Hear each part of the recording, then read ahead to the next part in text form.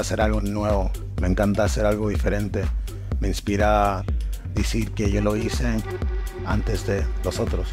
Empujar estas puertas abiertas para todos los otros niños que vienen, que sepan que si yo lo hice, ellos lo pueden hacer.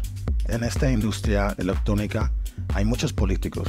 Si quieres hacer algo, lo haces, pero lo echas con, con pilas, ¿verdad? Tenía como 19, 20 años, vivía en Los Ángeles. Yo no sabía tocar DJ, yo me enseñé eh, viendo YouTube cuando tenía como 21 años y, y estaba pobre, no, no, tenía dinero. Tenía como 200 dólares a mi cuenta, comiendo un plato de comida cada día y, necesitaba dinero. Dije, ay, puedo hacer esto, pues me pueden pagar.